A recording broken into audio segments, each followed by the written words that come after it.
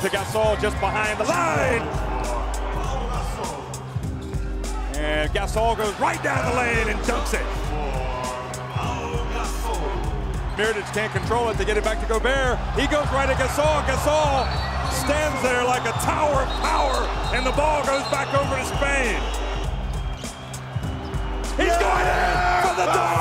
And Pau looks up at the heavens. The two-handed jam, and it's a one-point game. It's Gasol. He puts up a hook shot, Oh, and Spain have gone back in front. And he has to put a little turn away, a turnaround jumper, and he looks over at the Spain bench and says, who's your daddy? Back to Gasol, and he dunks it again. And Spain back in front. From the corner, Pau Gasol for the follow. And Spain have gone back in front, 78-75 now, Spain closing in on one of their all-time famous victories. It goes to Gasol! Is there anybody in the world right now that can stop Pau Gasol? How high is his confidence?